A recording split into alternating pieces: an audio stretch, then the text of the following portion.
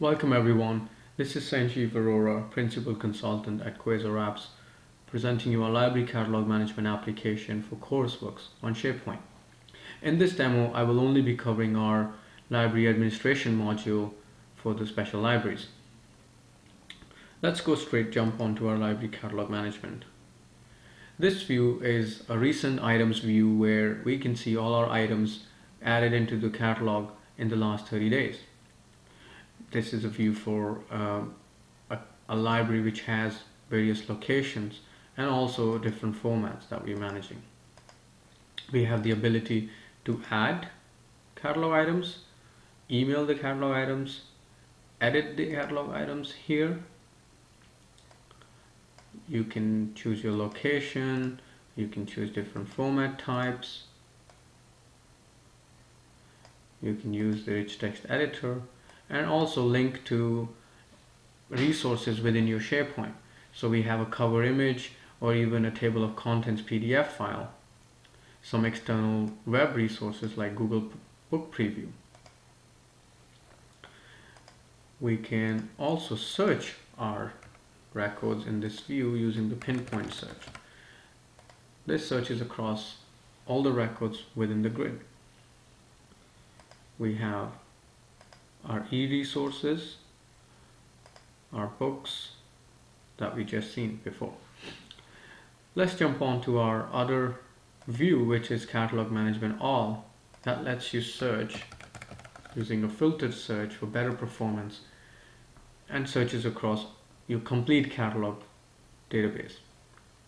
Here I have videos as an example that we can view so if you're managing different format types alongside your bibliographic information, you can view them right here.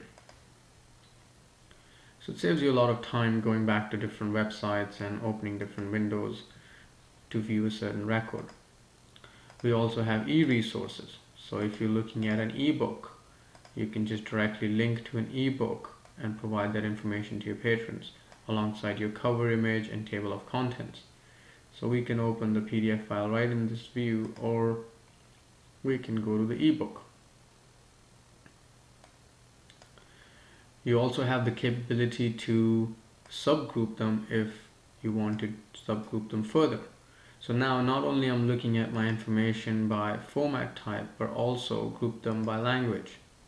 So if you were looking at information by location or another format you don't have to save different views you can just make them on the fly.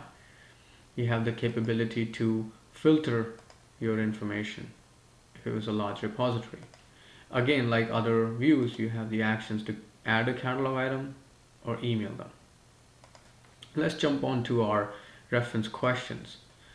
Here you see all the reference questions which have been submitted to the library by your library patrons as soon as you update a status you have the ability to quickly just update the status. It will be presented whether it's under progress or uh, you know it's been answered it will be presented onto the patrons portal without having to send emails back and forth. You can edit the information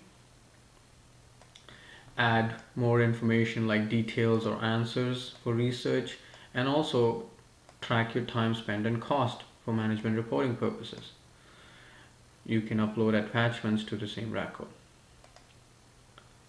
The similar view has been provided for purchase requests where you have the ability to see all the purchase requests submitted by your patrons.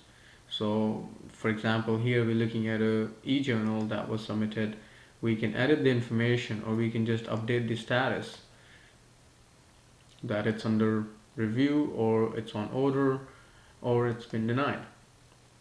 So a lot of functionality um, for a special library to manage their catalog with different formats and also reference question and purchase request. I hope you like this demo. Thank you very much.